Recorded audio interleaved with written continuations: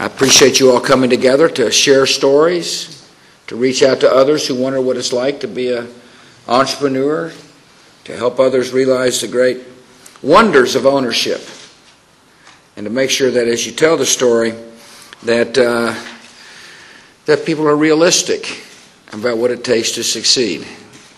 Government has a role to play as well, uh, and that is to create an environment in which the entrepreneurial spirit flourishes.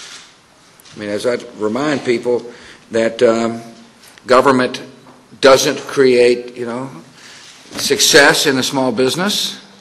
Matter of fact, government can pass policies that make it harder to, see, to succeed in small business. Government has got to be mindful of the contribution of the entrepreneur and make sure that the environment is such that people feel comfortable dreaming and owning and expanding.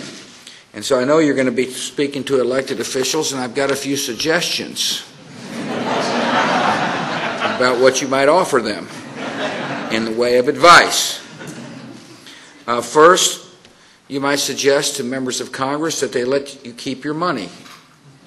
In other words, to keep taxes low.